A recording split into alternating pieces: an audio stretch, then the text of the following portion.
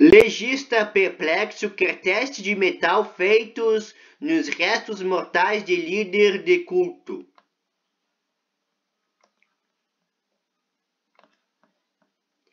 Tom Perrin, legista do comando de Saguache em Colorado, nos Estados Unidos, quer testar o corpo da líder de culto Love Haswon Amil Carlon para metais pesados, um componente de várias porções de saúde que o grupo vendia lado para determinar a causa da morte da mulher.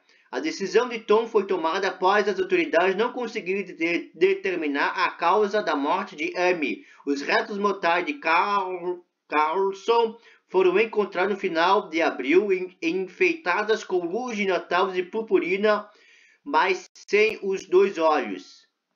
Em entrevista ao T. Devil Post, Perrin comentou que, até o momento, ainda não encontrou nenhum laboratório para realizar o teste inusitado proposto por ele.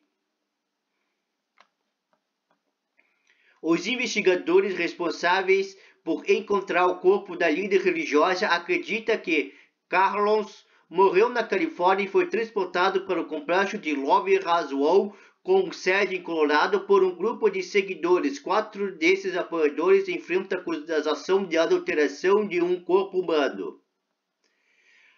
A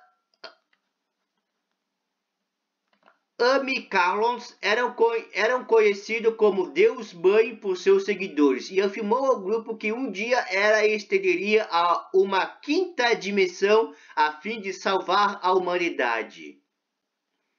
Olha, pessoal, cada coisa cruel que acontece nesse mundo